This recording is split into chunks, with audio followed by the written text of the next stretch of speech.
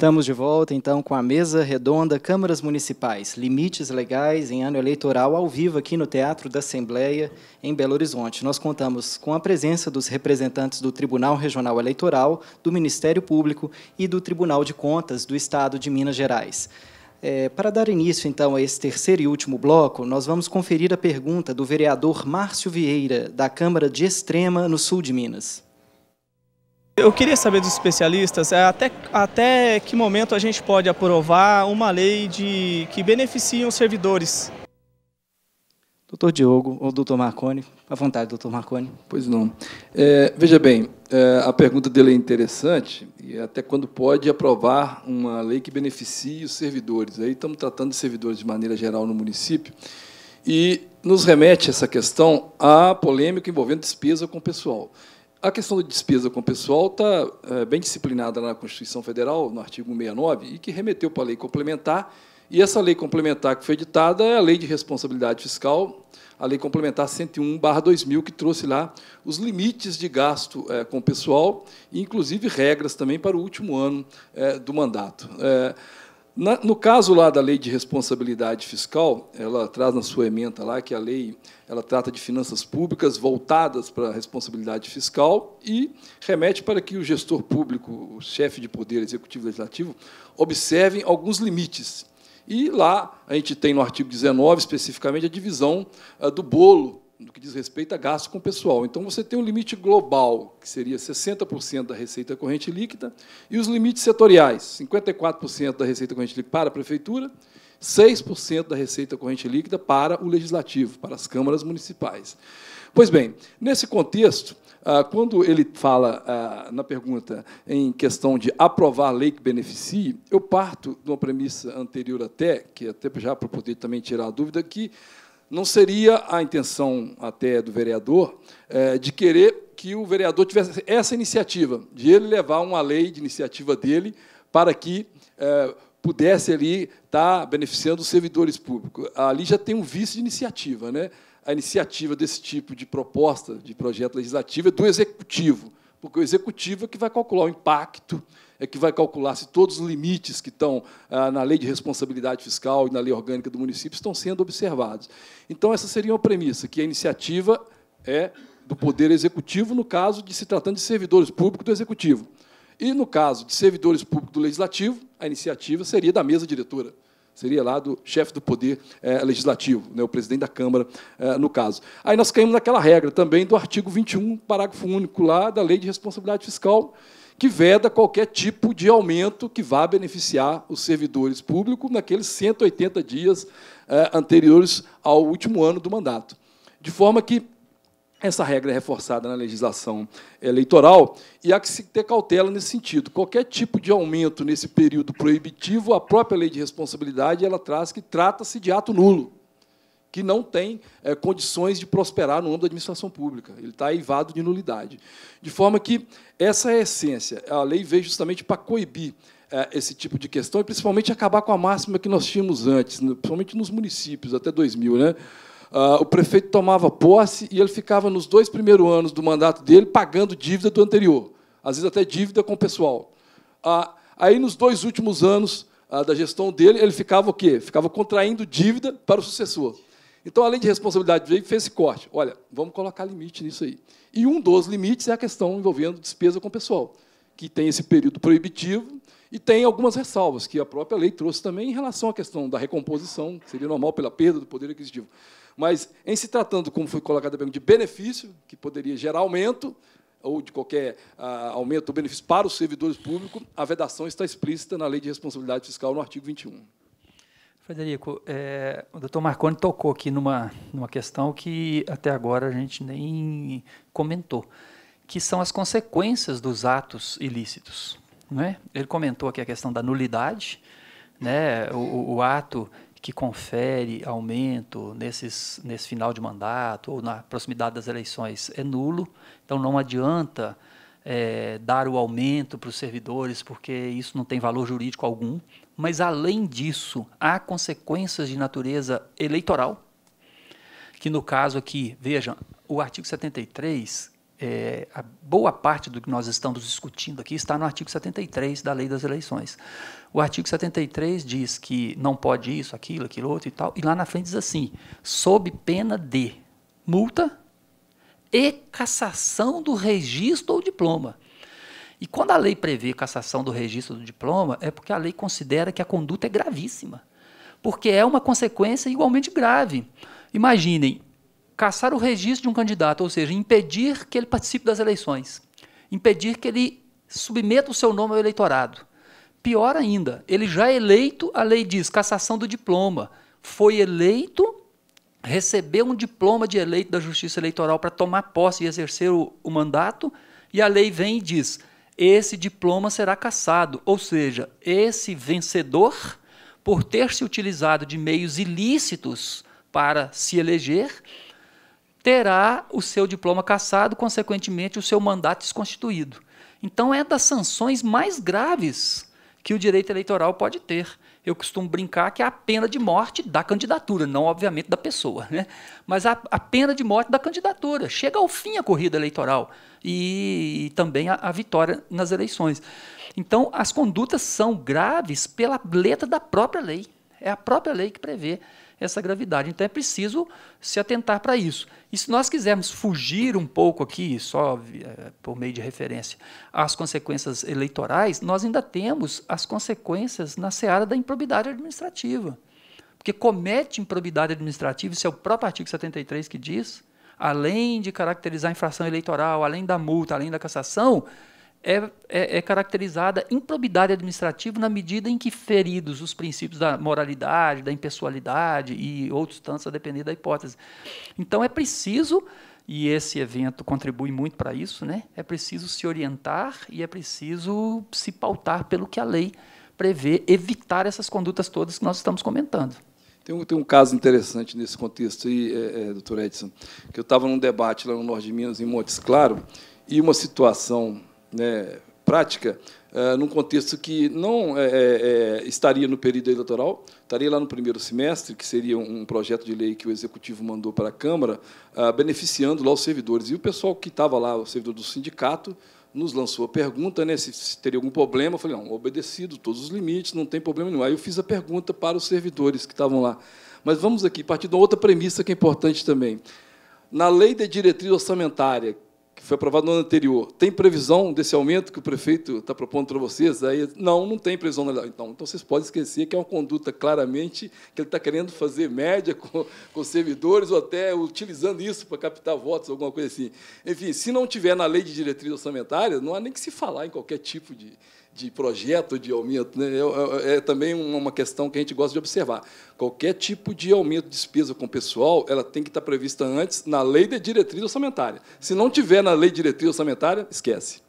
É, outra Doutor consequência Gil. também, não, não só a morte do candidato, né, não da pessoa, mas é, dependendo das consequências, pode configurar até a morte política pela inelegibilidade de oito anos. Além de ele ficar afastado da disputa ou, caso eleito, ter seu mandato cassado, ele não pode concorrer também nas eleições pelos próximos oito anos. Né?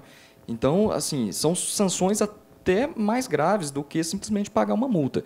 Do ponto de vista eleitoral, isso talvez seja o que tenha de mais relevante no que, a gente, é, no que diz respeito à penalidade para o candidato. Né? Doutor Diogo, agora sobre desincompatibilização, né? essa palavra pesada. É, quais são os prazos para a desincompatibilização de vereadores que são secretários municipais e vão disputar a reeleição? E também no caso do vereador licenciado que é candidato a prefeito, qual que seria o prazo para essa desincompatibilização? Essa questão da, da, desincompatibilização, isso o legislador ele quis justamente amenizar os efeitos de quem ocupa o cargo concorrer em desigualdade de condições com aqueles que não detêm o cargo, né, que não têm a máquina pública ao seu, ao seu dispor. Né. Então, nesse caso específico do secretário municipal, o prazo de desincompatibilização é de seis meses antes da, da eleição. É isso que, que determina. E no caso do presidente da Câmara, ele tem que se desincompatibilizar se ele for candidato a prefeito, por exemplo? Não, é o caso do presidente da Câmara, ele é vereador, né? Se ele quiser concorrer à reeleição para vereador, não tem necessidade de desincompatibilizar. É, agora, no caso de concorrer a, a, o executivo, ao executivo é necessário observar o seguinte: se ele substituiu o prefeito, é, ou, vamos supor, houve alguma dupla vacância, ainda que eventual, naquele município, e ele tenha que assumir a, a, chefia do executivo na condição de presidente da Câmara. Então, isso aí vai levar a uma, uma consequência, talvez, na, se ele for eleito prefeito e depois quiser uma reeleição. E aí você olha naquele primeiro período dele, enquanto presidente da Câmara, se ele substituiu, aí seria uma espécie de terceiro mandato. Né? Mas, é, nesse caso, em princípio, não, não tem necessidade. Frederico, é, essa matéria, desincompatibilização, além da expressão ser grande e até de difícil pronúncia às vezes, né, ela, ela se traduz, na verdade, no afastamento da pessoa do cargo que ela ocupa em razão do princípio que nós chamamos de princípio da desconfiança, né? a desconfiança de que o agente público vai se valer da sua condição de agente para se projetar adiante no, no processo eleitoral, influenciar o, o processo eleitoral. E a lei trata disso assim com pouquíssima clareza, é verdade. Né? A gente pegar lá o, a Lei Complementar 64, que é onde isso está previsto, Lei Complementar 64, artigo 1 inciso 2, nós temos lá um elenco de situações. A lei vai tratando situações, situações, cargos. Nós devemos ter lá mais de 30 situações postas né, para de vez em quando ter uma regra geralzinha lá envolvendo todos os servidores. Fora as que não estão postas, né? Fora as que não estão postas e que a gente tem que sair tentando encaixar aqui ou ali, né? Mas assim há um, uma, uma, regra mais ou menos geral que é que a, a, a, incompatibilidade, a desconfiança, ela diz respeito àqueles que têm funções executivas, essencialmente, né? É, então, os legisladores, na sua função típica de legislador, vereador, deputado, etc., eles não estão no, no horizonte da lei. A lei não estabelece desincompatibilização, não estabelece necessidade de afastamento para legisladores. Então, o vereador, enquanto vereador, não tem desincompatibilização. Ele é vereador, continua vereador e é candidato. Né?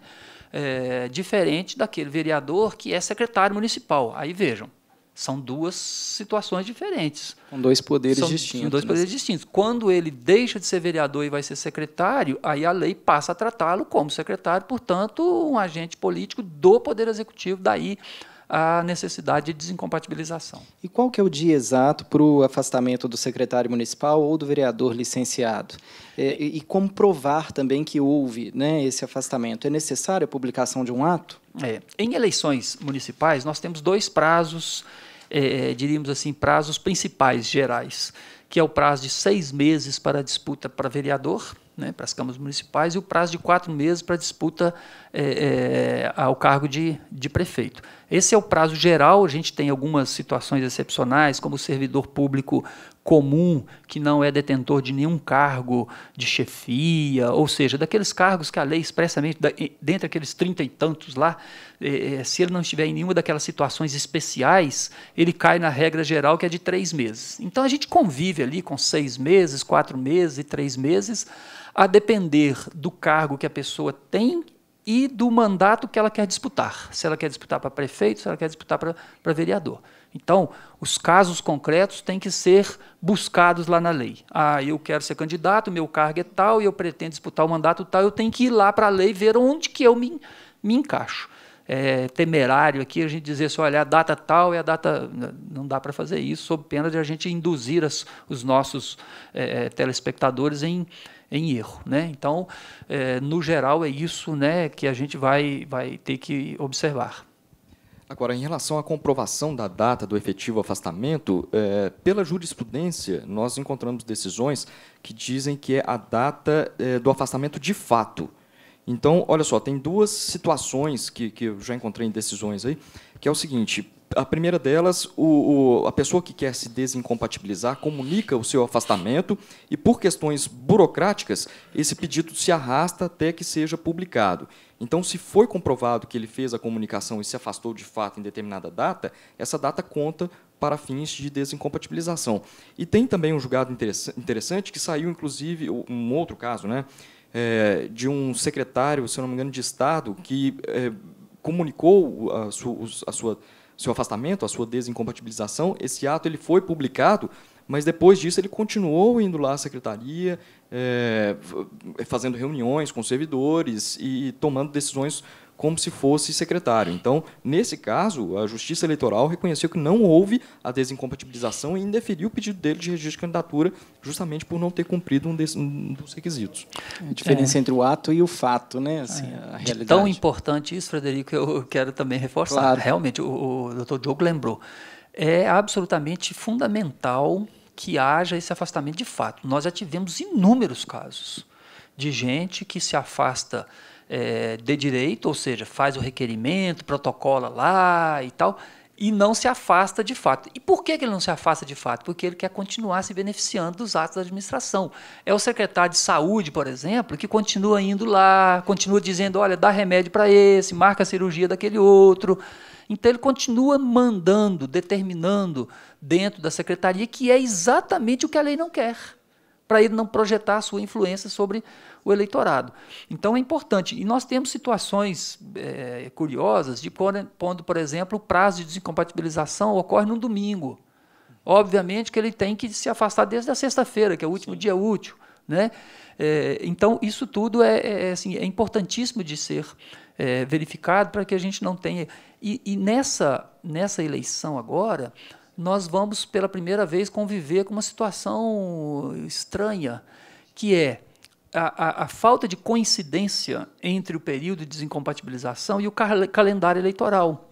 Até 2014, o calendário eleitoral ele se sintonizava com a lei das, das incompatibilidades.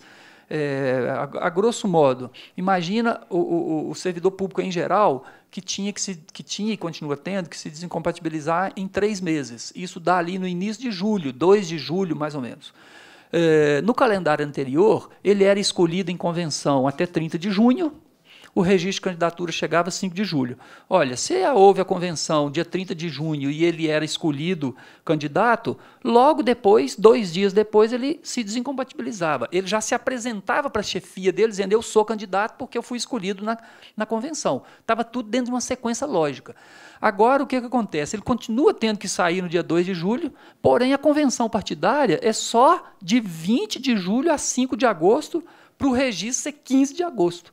Então ele tem que pedir desincompatibilização, ele tem que pedir licença, inclusive remunerada para quem é efetivo, antes mesmo de saber se o seu nome será aprovado pelo partido e, portanto, se ele será candidato. Ou seja, no momento em que ele é pré-candidato, é preciso fazer. É preciso já. fazer. Porque isso tem gerado muita dúvida, porque, na verdade, a lei alterou, alterou o calendário, empurrou para frente a convenção partidária, mas a lei não tocou, não modificou os prazos de desincompatibilização. Isso pode significar uma armadilha para o, os agentes públicos, é preciso ficar atento a isso. Perfeitamente, o recado aí do Tribunal, perdão, do Ministério Público. E agora faço uma pergunta para o Tribunal de Contas se a Câmara pode manter uma escola de informática ou oferecer aulas de informática. Né? Então, é, não vejo óbice nesse sentido, desde que seja para o público interno, ou seja, para os servidores do Legislativo e para os senhores vereadores. Né, o Tribunal de Contas de Minas Gerais ele tem várias consultas respondidas lá de que ah, o Legislativo deve se ater lá, às suas atividades fins, que seria a questão ah, de fiscalizar e legislar. Ações que envolvem, é, atividades que envolvem assistência social, ou mesmo a questão da inclusão digital, igual tem os quiosques aí que o governo federal estimula nas prefeituras, são todas específicas do Poder Executivo. Então, é preciso ter cautela para que isso não venha a ser caracterizado, como tem alguns julgados lá na casa, em despesas não afetas ao Poder Legislativo. E aí a gente é, alerta né, aos senhores presidentes de Câmara nesse sentido, ter essa cautela, porque senão ah, pode ser depois, através de procedimento próprio lá no Tribunal de Contas, seja via uma auditoria, uma inspeção em processo específico, isso ser julgado irregular e trazer problemas futuros. De forma que ah, essa questão é, é possível para o público interno. Para o público externo, é atividade específica do Poder Executivo. E o uso de carro da Câmara? Bom, uso de carro da Câmara, ah, você fala num contexto geral, a gente não vê problema desde que haja também aquelas cautelas em relação à questão do controle de quilometragem e o controle de gasto de gasolina. porque a gente já se deparou com muitas situações em que, ah, em determinado município, ah, o agente público, seja servidor, seja agente político, ele pegou o veículo oficial, saiu lá do órgão, passou no quarteirão, no, aí tirou toda a gasolina que estava no carro e pôs no carro particular, ou então utilizou o carro uh, do órgão público em outra atividade familiar, levando o filho para a escola. Então, essas cautelas é que o presidente da Câmara tem que ter no sentido de ter um controle interno eficiente e que esteja registrado ali a questão do efetivo consumo de gasolina, a quantidade de gasolina e a quilometragem rodada. Tudo dentro da questão envolvendo o princípio da economicidade, da proporcionalidade e da razoabilidade. Né? E, além disso, as cautelas também de utilizar o órgão público no período eleitoral, que aí o doutor Edson, mas o doutor Diogo podem as, as, consequências eleitorais desses dois atos, né, fazer escola de informática e de usar o veículo oficial, é, elas, elas devem ser destacadas aqui também. Né? Nós tivemos já julgado também é, na Justiça Eleitoral sobre essa questão de escola de informática.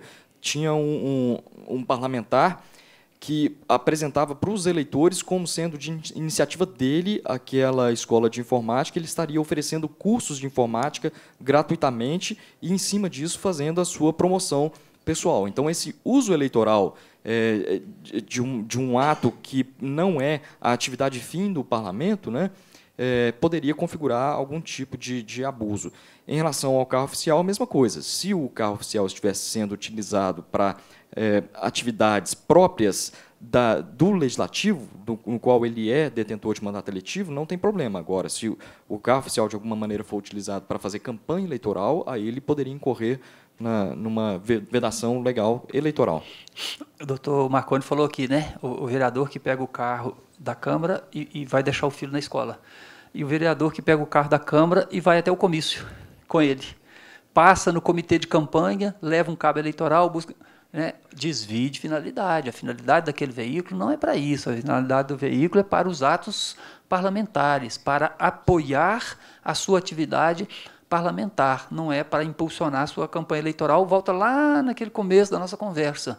Né, a destinação dos bens e serviços públicos para o interesse público e não para o interesse particular do candidato ou de partido político.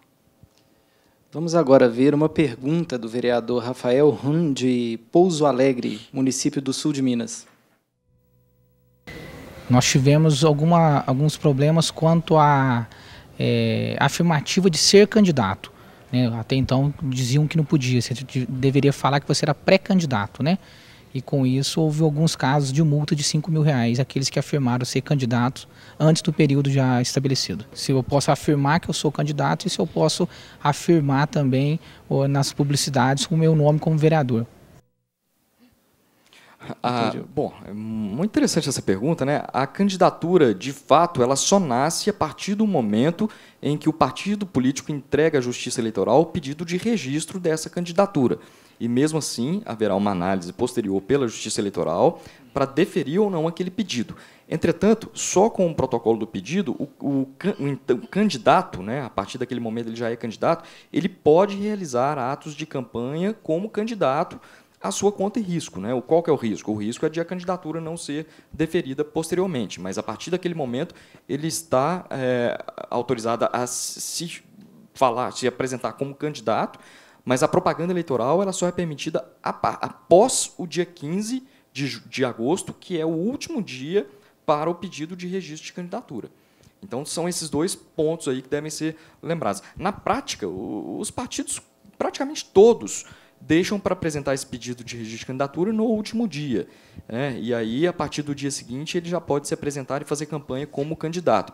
Agora, uma outra questão de ordem prática aqui é o seguinte: é, no dia seguinte, o dia 16 de agosto, ele já pode iniciar a sua campanha, mas para que ele realize gastos e arrecade recursos, é necessário que ele abra uma conta bancária. E para abrir uma conta bancária, ele tem que apresentar o CNPJ de campanha dele, que ele recebe na hora que ele vai fazer o registro de candidatura, ao banco. E esse procedimento de pegar o CNPJ, apresentar ao banco e abrir a conta, ele pode demorar uns dois ou três dias. Então, nesse intervalo, se ele deixar para fazer o pedido de registro no último dia, ele no dia seguinte só pode realizar atos de campanha que não envolvam a arrecadação e o gasto de recursos. Tá? Então, qualquer recurso que ele vai fazer na campanha tem que transitar necessariamente pela conta de campanha, que ele vai abrir exclusivamente para esse fim.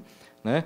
É, existem algumas exceções aí, né, de, de, alguns municípios menores em que não é necessário abrir a conta de campanha, mas, via de regra, é, impõe-se isso. Então, o que, que acontece? É, de fato, pode ter acontecido, deve ter acontecido isso mesmo que o, o a pessoa ali que está perguntando falou. Vereador o vereador Rafael. Rafael é, falou, né, de em eleições anteriores alguém ter sido condenado ao pagamento de multa por ter se apresentado antes do período como sendo candidato. É justamente nesse ponto do artigo 36A e seguintes da Lei 9.504 que foi alterado pela mini-reforma e que foi flexibilizado é, e agora não há uma vedação, uma restrição tão grande em o candidato se apresentar como pré-candidato, inclusive dizendo as suas, seus projetos, as suas propostas, o que ele não pode é pedir votos. E também, como o doutor Edson muito bem frisou, frisou aqui, é, realizar gastos de pré-campanha. Não existem gastos de pré-campanha, existem gastos de campanha. Frederico, essa pergunta do vereador Rafael ela, é, ela, é, ela, é, assim, ela é interessante porque ela, ela é uma aflição que a gente percebe por parte daqueles que pretendem disputar a eleição. É, agora, no mês de abril, alguém pergunta, um jornalista, né, o, o, a pessoa participa lá de um programa, como nós estamos participando aqui, e o jornalista pergunta para ele, olha, você é candidato? E aí ele não sabe o que responder. Em eleições passadas ficava naquela, olha, eu pretendo, ah, não, não posso falar disso, e etc. A lei agora flexibilizou e está dizendo, olha, você pode dizer que é pré-candidato eu pretendo ser candidato. E, aliás, não há outra resposta a ser dada. Quando a pessoa diz, não, eu sou candidato, ele está, no mínimo, se precipitando, porque ele só será candidato depois que o seu nome for aprovado na convenção e levado à Justiça Eleitoral. Então, como as convenções são feitas em julho até início de agosto, hoje ninguém tem condição de dizer que é candidato. Né? Então, o, o, o que a lei permite agora é ele dizer, olha, é, pode dizer de diversas formas, pode usar a expressão que a lei usa, que é sou pré-candidato, ou pode dizer pretendo ser, vou, sub, vou submeter meu nome ao partido político e tal. Então, toda essa questão aí, ela deixou de ser tratada com aquele rigor, e ele deve estar falando de condenação em um momento em que a legislação realmente era muito rigorosa, né, em que não se permitia anunciar o que se pretende ser, o que me parecia ser realmente fora de, de, de contexto. Né? Não havia tanta necessidade, mas enfim, era a legislação e as multas vinham em razão da legislação posta. Então, agora, como a gente estava dizendo, é possível. É, sou pré-candidato, pretendo ser candidato, farei isso, farei aquilo, enfim, estabelecer o, o, o debate com, com os eleitores. Servidores do Legislativo de Ubá, na Zona da Mata, querem saber se a Câmara pode enviar cópias de proposições de vereadores, como, por exemplo, indicações pedindo conserto de um buraco em via pública para todos os moradores de uma rua, para o comércio local, para a imprensa. Né? Ou o vereador deve fazer isso por conta própria, sem gerar gastos para a Câmara. E quando a Câmara envia convite para uma audiência pública, isso pode ser feito com assinatura do vereador ou tem que ter assinatura apenas da Câmara Municipal? Então, são alguns casos né, é, que envolvem aí as proposições. Né, é, às vezes, muitas vezes, é aqui, é o problema lá do buraco na via pública, uma questão muito concreta né, que aparece e como é que os vereadores e servidores de Câmara vão lidar com isso. Bom, nesse, nesse ponto, o, o, uh, a gente começa a entrar nos casos que coloca a justiça eleitoral no limite entre aquilo que é a atividade regular de um parlamento ou aquilo que já é uma pré-campanha ou mesmo uma campanha. Né? Então, tudo vai depender da maneira como a questão é posta. É, é próprio do legislativo solicitar é, uma atividade que é do executivo, tampar buracos, né, ou fazer o asfaltamento de ruas? Talvez sim. Agora, você começar a fazer o uso político disso é, para em nome você personificar aquilo em nome de um vereador só que por acaso ou não coincidentemente é também um candidato ou pré-candidato você começa a desvirtuar um pouco a finalidade desse ato. Então é, existem meios para que os órgãos da administração pública façam a sua divulgação das atividades institucionais, que é aquela propaganda institucional que a gente já tratou aqui atrás, e inclusive existem vedações para essa propaganda institucional naquele período de três meses que antecedem o pleito. Então, é, pelo que eu estou vendo aí, é, o, o, legislativo divulgar que fez algum ato que é próprio seu, no meu ponto de vista, é, não se enquadraria naquelas exceções de casos de urgência e necessidade pública. Né? É uma atividade normal do parlamento fazer isso. Então, em princípio, não seria permitido nos três meses que antecedem o pleito. Agora, fora desse período, vai depender também se o vereador ele não está querendo chamar para si um ato que é do, da instituição. Então, vai depender muito daquela situação concreta. Então, ele faria isso, por exemplo, a entrega dessas cópias né, da, da proposição é, com o recurso da Câmara. Né? Com recurso da Câmara e em nome da Câmara, em né? Da Câmara. não em nome próprio. Né? Utilizando a figura de que tem lá no Legislativo, nos regimentos internos, aqueles atos próprios lá, que seria né, resolução própria, e para o caso dos vereadores, a indicação. Uhum. Né, que, é, que, é, onde o vereador indica para o executivo, como se ele pedisse para o executivo né, a indicação de uma determinada obra ou do serviço né, para atender determinada comunidade, né, dentro daquela rotina que nós falamos. Né, isso foi, tem sido feito nos anos anteriores. E a questão de divulgar isso também dentro da normalidade e dentro daquelas regras que estão colocadas. Mas é, é, é a figura dentro é, do legislativo da chamada indicação, né, que o vereador faz a indicação de determinada, determinado serviço ou obra. Né.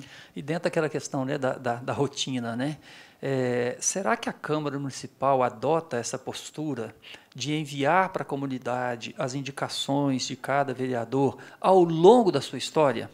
É, pelo menos os quatro anos dessa legislatura, desde o dia 1 de janeiro de 2013, a Câmara tem isso como sua rotina. Toda indicação ela tira cópia e manda para os moradores daquela determinada região? Ou isso foi adotado agora? Porque se adotado agora, nós temos no mínimo um, um, uma, uma, um, um ato aí, né? Né, é, é, de, de, de, de, de caráter eleitoreiro que vai surpreender, porque ele é novo, e aí você coloca aqueles nove, onze vereadores que seja, em condição de desigualdade em relação a quem não seja, porque eles estão lá todo dia sendo lembrados ao eleitor de que ele indicou o calçamento da rua, ele indicou a construção do hospital, ele indicou isso e aquilo, algo que os demais pré-candidatos e futuramente candidatos não têm para fazer. Então, é indicativo de uso eleitoreiro aquilo que surpreende, aquilo que é feito só ali às vésperas do processo eleitoral e não aquilo que constitui uma rotina desde sempre. Ficou ainda uma questão no bloco anterior sobre desincompatibilização, não relacionado a órgãos do executivo, mas o prazo para desincompatibilização de radialistas, né, é, vereadores que realmente têm esse acesso e que podem fazer uso dessa mídia. É, olha só, o radialista, por não ocupar uma função pública, ele não se submete à desincompatibilização. O termo não é esse. Ele não tem que se afastar é, daquela empresa na qual ele é empregado, né, na qual ele trabalha. Entretanto, a legislação, a, a, o artigo 45 da Lei 9.504, ele fala que a partir do dia 30 de junho do ano das eleições, as emissoras não mais podem é, transmitir programas que sejam apresentados ou comentados é, por, por candidatos e, ou pré-candidatos. Esse também é mais um exemplo é, daqueles reflexos que a legislação não, não acompanhou ao alterar o calendário eleitoral. Então, fez essa mudança é, lá para meados de agosto, mas esqueceu daqueles prazos de desincompatibilização. E, nesse caso do, do radialista, o nosso exemplo aí do jornalista, é, manteve lá no dia 30 de junho. Então, é, olha só, ainda que os programas deixem de ser apresentados, aqueles é, é, por pré-candidatos, né, apresentados ou comentados por pré-candidatos, se o nome do programa coincidir com o nome do candidato, não basta que esse candidato se afaste. É necessário alterar o nome do programa também. Né? É, Domingão do Faustão, por exemplo, se o Faustão for candidato, ele deixaria de apresentar o programa, mas o nome do programa teria que deixar de ser esse também, é, que coincide com o nome do, do Vinculado, candidato. Né? E, esse, e, e a alteração tida na legislação agora, Frederico, também trouxe uma inovação, porque, é, neste caso, a lei não só determina que a emissora deixe de exibir o programa, como também prevê para o apresentador ou comentarista a possibilidade de cancelamento do registro se ele continuar no ar após a data limite. Então, não é propriamente, não é tecnicamente uma desincompatibilização, como o doutor Diogo bem lembrou, mas é que um, um afastamento das funções adiante né, da, da, das câmeras, né, diante do microfone, ele pode continuar na emissora ocupando outras funções, né, que não seja de apresentador e comentarista. Então, é um afastamento para o qual a lei prevê uma, uma consequência grave. Né, continuar depois de 30 de junho apresentando ou comentando o programa pode gerar para ele a perda do registro de candidatura. E como é que ficam as inaugurações de obras né, no período eleitoral? Elas podem acontecer? E as pessoas que forem pré-candidatas ou candidatas, elas podem comparecer a esses eventos ou participar ativamente deles? O vereador, por exemplo, pode participar de eventos festivos, solenidades? O que, que vai diferir né, esse limite aí entre o que é eleitoral e o que é o exercício da função? É, a questão das inaugurações também é, é outro assunto interessante, porque há, inclusive, algumas desinformações há um mito por aí que não pode ter inauguração no, no ano eleitoral, no período eleitoral, há muita desinformação. E, na verdade, a lei não proíbe que a inauguração seja feita. A lei disciplina as inaugurações e o faz de duas formas. Primeiro, nos três meses anteriores à eleição, não pode haver, nas inaugurações que forem feitas, shows pagos pela administração pública, ou seja, in, é, é, é, modificar a natureza da inauguração, porque a inauguração deve ser nada mais, nada menos do que a administração pública colocar o bem ou serviço à disposição da população. Dizer assim, olha, nós concluímos o hospital e ele está aqui pronto para servir à população. Né?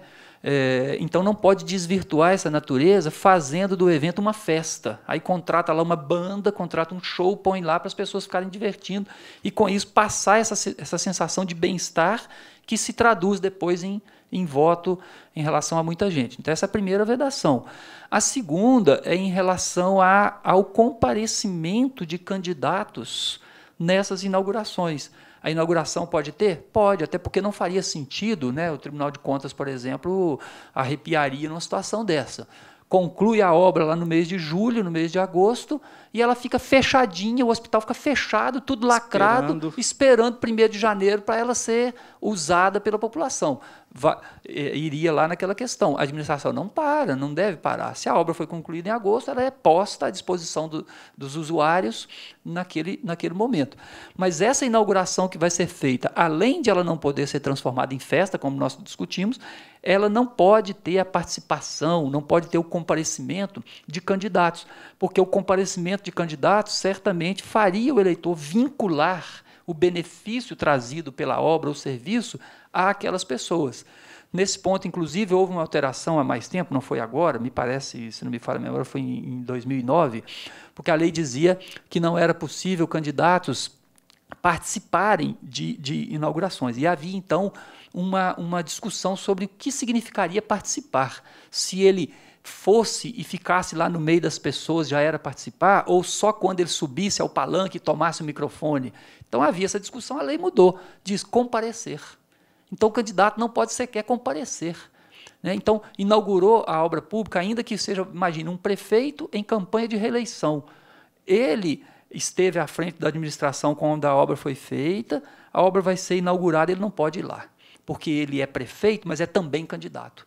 E na condição de candidato, e como não é possível dividi-lo ao meio, para saber quem é candidato e quem é prefeito, ele é as duas coisas ao mesmo tempo, ele não pode sequer comparecer lá. Não pode comparecer no palanque, não pode comparecer no meio do povo e ficar ali, né, é, é, é, fazendo esse social e mostrando que é dele a, a, obra. Então, essa questão também é bastante interessante, deve ser é, observada. É, muitos. É, não, agora nós vamos para Tânia Simone, diretora da Secretaria da Câmara de Caetanópolis, que indaga até que data o Executivo e o Legislativo podem é, realizar solenidades e inaugurações de obras em ano eleitoral. É, e depois, agora caminhando para o encerramento, nós vamos a uma última questão, que é a dúvida do presidente da Câmara de Itabira, vereador Rodrigo Alexandre Assis. Eu quero saber se o presidente da Câmara tem os mesmos impedimentos que o prefeito em ano eleitoral e em caso de reeleição deste presidente de Câmara. Então, já tratamos da solenidade de inauguração, né, é, que, a Tânia Simone estava perguntando, e agora essa pergunta sobre os impedimentos do prefeito. Pois bem, é, a gente destaca, e, é bom reforçar aquela questão que já tratamos aqui no debate, principalmente em relação no comparativo com o executivo. Né, os impedimentos, as regras, do ponto de vista das finanças públicas e da gestão fiscal responsável, estão lá nos limites relativos à, despesa com pessoal. E a despesa com pessoal, já falei aqui, ela é, se realiza tanto no âmbito legislativo quanto no âmbito executivo, com seus limites setoriais. Ah, no caso do legislativo, ah, a gente tem, na maioria das vezes, como já mencionei aqui, que os presidentes de Câmara têm um mandato de dois anos, então essas regras do segundo ano do mandato deles seriam do último ano, assim como do prefeito, é, que são quatro anos, o último ano dele seria o quarto ano. Então, ah, algumas questões envolvendo aí, principalmente a despesa com o pessoal, elas remetem para esse período né, que seria o último ano dele no cargo efetivo lá, no cargo é, de chefe do Poder Executivo. Está como chefe do Poder Executivo, ele está sujeito aos mesmos limites colocados para o chefe do Poder Executivo, é, para o chefe do Poder Legislativo, no que diz respeito às regras, principalmente é, no último ano do mandato, ou seja, aquelas regras relativas ao limite de despesas com o pessoal e principalmente as vedações de não se aumentar a despesa com o pessoal no último ano dele ali, enquanto presidente eh, da Câmara eh, Municipal. Um outro ponto que eu gostaria de destacar, também já a gente caminhando para o final dessa conversa aqui, é no sentido de um alerta a todos os possíveis candidatos, ou como estão bem falando hoje, que seriam pré-candidatos, né, que às vezes é, é, tem procurado o Tribunal de Contas e em outras eleições procuram também, no sentido de obter a certidão para fins eleitorais. E a gente quer destacar aqui, é, de maneira pedagógica e tranquila, que o Tribunal de Contas do Estado de Minas Gerais, assim como os outros tribunais de contas pelo Brasil afora, não emitem certidão para fins eleitorais. Essas certidões para fins eleitorais elas devem ser buscadas no Poder Legislativo. A Câmara Municipal é que vai emitir a certidão. Se teve contas julgadas pela rejeição ou pela aprovação. O Tribunal de Contas ele faz o quê? É, cumprindo a determinação da lei. Ele, é, no mês de julho, exatamente, me parece 5 de julho, ele pega uma relação de possíveis inelegíveis e encaminha para o Tribunal Regional Eleitoral. De, de forma que a gente destaca isso. Essas certidões para possíveis candidaturas, elas devem ser buscadas na Câmara Municipal. O Tribunal de Contas emite outras certidões, por exemplo. Quer saber a situação do processo? É, do presidente da Câmara X ou do prefeito X, tudo bem, o Tribunal de Contas emitir a certidão da situação. Olha, está em tramitação, já foi emitido parecer prévio pela rejeição, ou não foi emitido parecer prévio, várias situações. Mas, para fins eleitorais, o Tribunal de Contas não emite certidão. É isso que a gente também aproveitar esse espaço aqui, oportunidade, para também dar esse, essa notícia, essa informação, a fim de que seja procurado o respectivo eh, Poder Legislativo e, depois que o Tribunal enviar a relação para o TRE, aí sim a Procuradoria vai tomar lá as providências de ver ali possíveis inelegíveis. Né? Muito bem, nós vamos chegando ao final de mais uma edição da Mesa Redonda Câmaras Municipais Limites Legais em Ano Eleitoral, realizada hoje, segunda-feira, 18 de abril, aqui no Teatro da Assembleia, em Belo Horizonte. Assim como nas duas edições anteriores, realizadas em 2008 e 2012, nós contamos com muitas questões relevantes que auxiliarão as câmaras de todo o Estado durante o período eleitoral de 2016.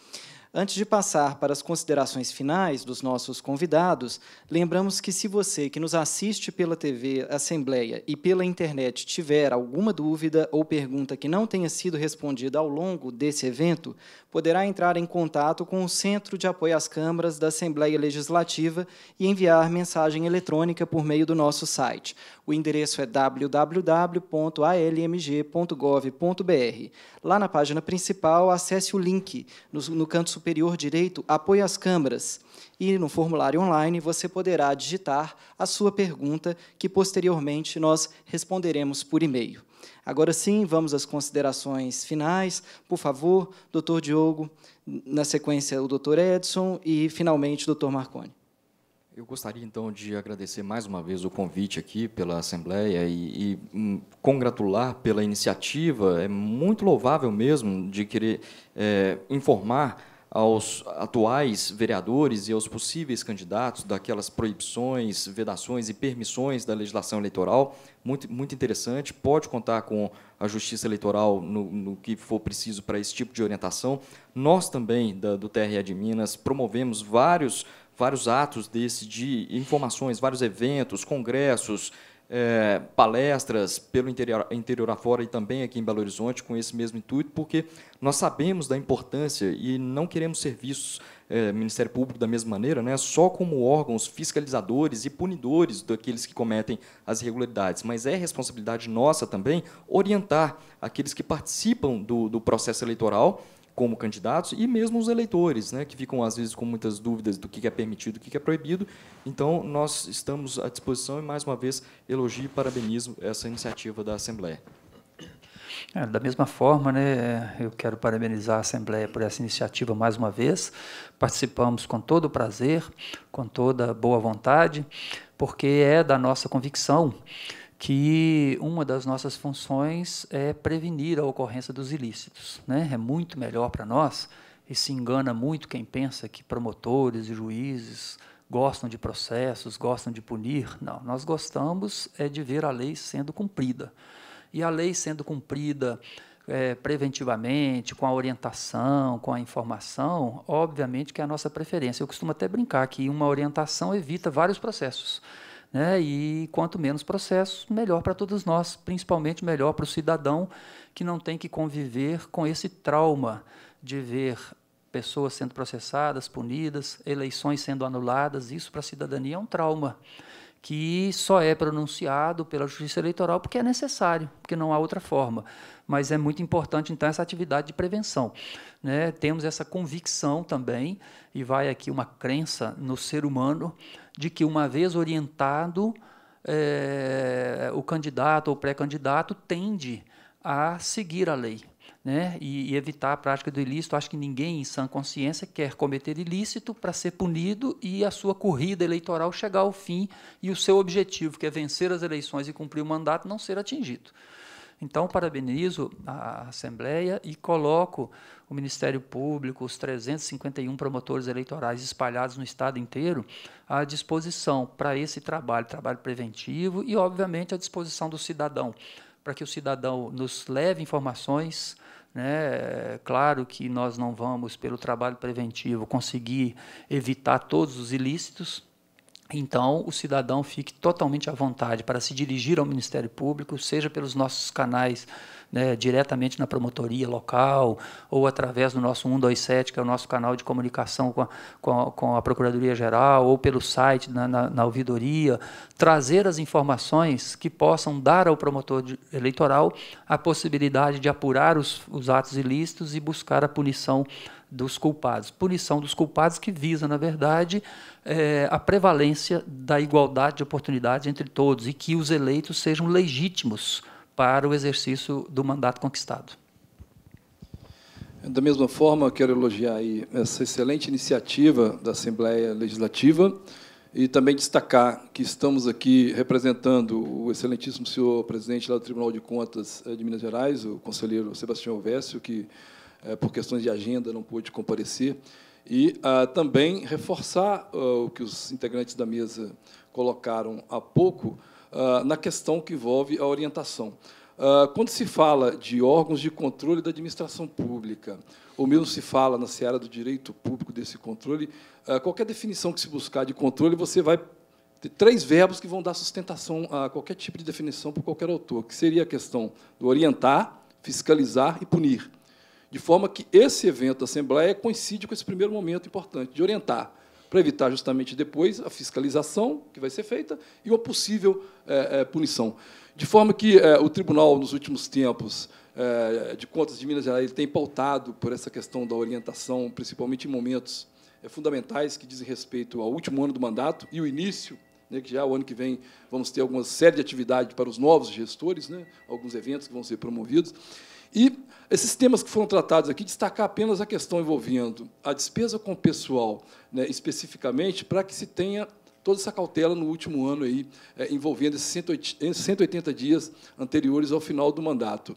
E, principalmente, se puderem, que façam consulta ah, no site do Tribunal de Contas, www.tce.mg.gov.br, as consultas que estão respondidas ali por tema. Se você jogar lá despesa com o pessoal, você pode ter acesso, por exemplo, à consulta 858052, que trata de despesa com o pessoal no último ano, que trata de revisão, de recomposição, de possíveis aumentos, de forma que podem buscar algumas informações no site do Tribunal de Contas do Estado de Minas Gerais.